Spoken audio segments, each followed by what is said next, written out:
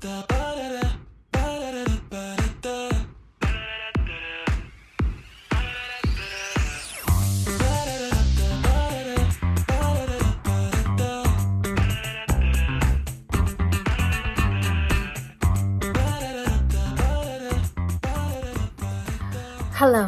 Okay, we're going to talk about bouncing back. Okay, so if you are um, thinking about um, how you need to bounce back or in the middle of bouncing back, it's probably because you got knocked around a little bit, knocked down. Um, life kind of, you know, gave you a, gave you the what for, and you got to bounce back. And so um, that's what I made this little kit for. Now, the thing I, I want to make sure and say is that um, it's not always as easy as deciding I want to bounce back. But um, having the um, intention and the desire that you want to bounce back is the first step. I mean, that's that's that's what's going to get you to a place where you know you can start bouncing back. Is just if you just start saying, "I'm going to bounce back. I, I want to bounce back." Um, and, and it's in steps. Now I'm, I'm currently bouncing back from a lot of things. I think all of us are bouncing back from the whole world being shut down and the economy crashing and, you know, just the fear of what we've been dealing with in this pandemic.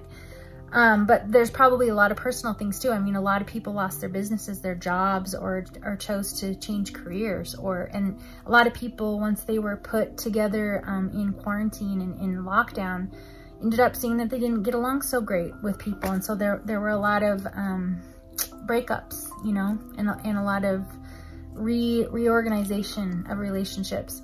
And so all of that is, um, requires bouncing back. And so what I want you to know and remember is that if you're actively grieving a big loss or you're in a depression or any other kind of mental unwellness, that's not the same as saying, I'm going to buck up and I'm going to bounce back. I mean, it's not the same as willing yourself and saying, you know what, I, I just got to get back on the horse and get going. Grief has its own timeline. And so you just got to be merciful with yourself. Same thing with mental unwellness, has its own timeline. All of this stuff's going to help tremendously, but have mercy and grace for yourself if you're in the middle of a, of a really big episode of um, grief or mental unwellness. Um, otherwise, um, you know, it's so much of life is just about decisions. It's just about deciding like, like I'm to the point, I, I let myself cry and, um, suffer for a couple of years. I'm coming out of it now. And I just, um, I, I let myself take as long as it took to be able to heal from some really big things.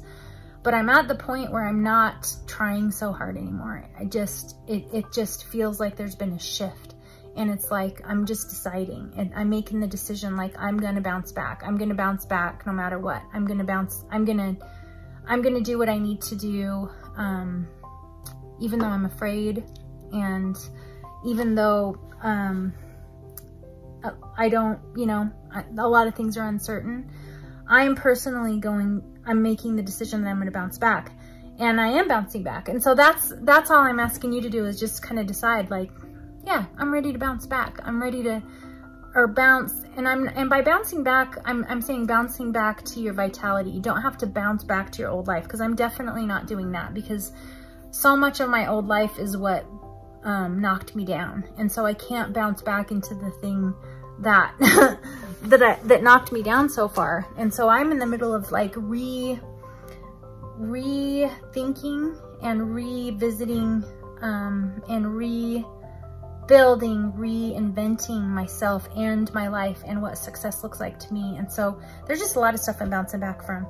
So as you're working through all of this, um, I, I'm just going to show you what I did. You're probably going to come up with some really creative things. And if you're here supporting my work, you probably have already done something like this or you wouldn't be supporting it. You know, I've been doing this kind of stuff for so many years and I'm the one that developed cut and paste journaling. And so I've been doing this for you know, millions and millions of words for, you know, a couple of decades. I know a lot of, of us really enjoy collage and, and kind of the ransom letter sort of look and things like that.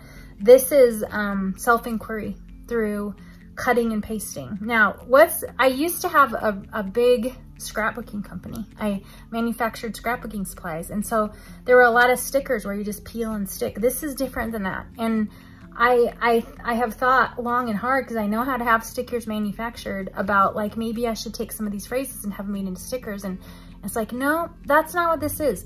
The part of the meditative quality of, of this whole therapeutic process is the cutting and the pasting, is the long time that it takes.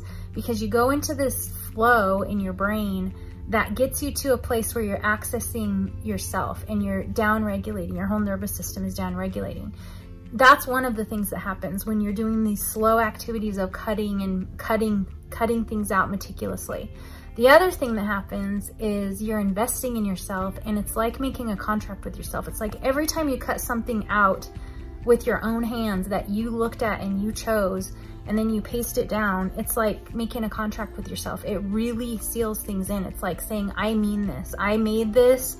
I cut out every little letter of this word and I pasted it down and I mean this. And it, and it helps you to take all of it more seriously.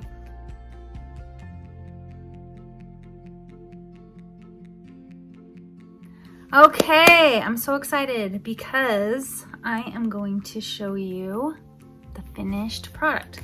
Okay, finished-ish because I did an entire book and so there are a lot of pages in here that I'm gonna be able to just keep revisiting over, you know, the next couple of months or whatever. But I used the entire kit between um, these truth cards, which I'll show you in a minute, and this book.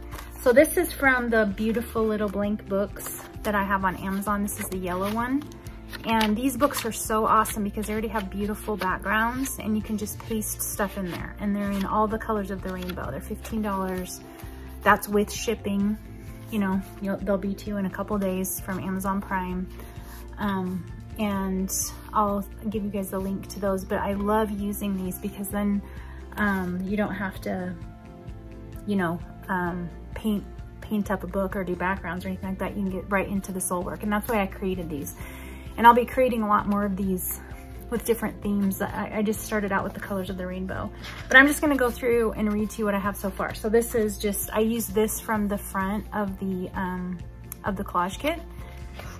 And then I just cut it out and put it on there. You'll see that in the time lapse. Um, and then I just started gluing things from the collage kit, you know, in the places I wanted them to go. This is actually an image from an old time magazine from like the 1960s that I loved.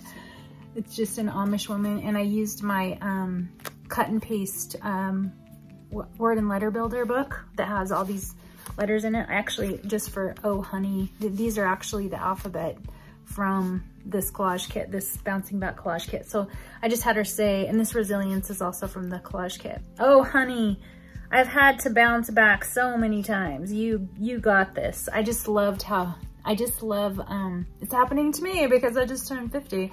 How the older ladies are just like, oh my gosh, you got this. Nothing to worry about.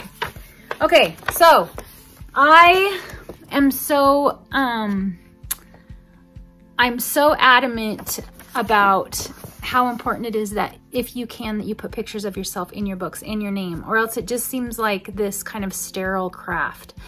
Once you put your pictures in it feels really weird at first. It feels like you're kind of like a super self-centered person but it this is soul work that's just for you. It's not for anybody else. And when you put your picture in it just changes everything. It becomes yours. And how often do you really see yourself anyway? And at, when i started putting my pictures on all of my things everything became really real and I, it's like um, what Brene Brown says about um, dehumanizing people. When we dehumanize ourselves and don't see ourselves as people, we can be a lot meaner to ourselves. But we have to look into our own eyes and see ourselves as a person with these beautiful words and these beautiful questions and this beautiful journal. And you start to look at yourself in a different way. And it's just really important. So what I do is I just, um, you know, take picture selfies or pictures that my husband's taken of me or any pictures people have tagged me in or whatever. And I just put a whole bunch of them on a sheet of paper um, and then just print them out on my, just on regular printer paper in black and white. And it just works out really well. I do them lots of different sizes so that I can put them on truth cards and in my, in my um, cut and paste books. Okay, so this says, I'm ready to truly thrive. what do I want to bounce back from? And you'll see that in the, um, in the time lapse, you know, how I cut each one of those out of the little black and white alphabet that's in the collage kit. And then it says, I can build a new kind of life, one that suits me. That's in the collage kit too. This um, little speech bubble is in the Word and Letter Builder book. Um, I use it a lot. And then here are, you know, some of the journaling prompts. I answered some of them, but I'll come back and do some later. I put this picture and this is from the collage kit. This bike in this background was already in this book.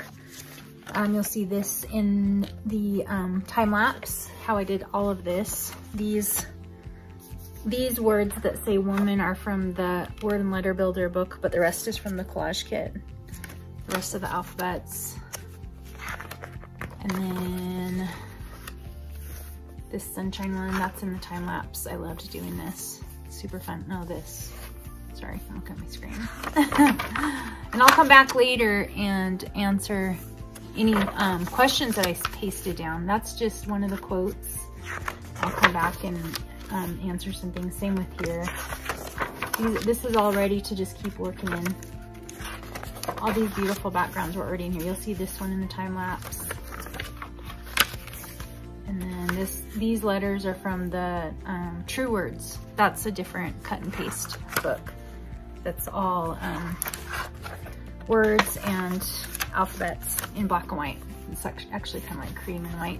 This is just one of the journaling prompts, so I'll be able to come back and fix, um, finish that. These are three journal prompts. I'll come back and finish that. See, I have lots of stuff I can come and do. This that's what's awesome about these collage kits is they'll, they'll keep it going for a month or two of soul work. This one says, what is going to have to change? Lots of things. And lots of things can stay the same. How I just might surprise people. The thing that surprised me most, another journaling prompt. I put a picture of me in there and there I love this sunflower that's in the back of this, or in, in the backgrounds. This is just a background. I'll put something in here. I don't know what yet. This is the only page I didn't put paste anything to. I just pasted a picture there. And another picture there. Another picture there. So I, um, these, I'll be able to just keep going with this. Like I said, I'm going to add a, a truth card kit that goes with bouncing back. And I think a lot of us are bouncing back, all of us, from the crazy things that have happened the last couple years, but also just life in general.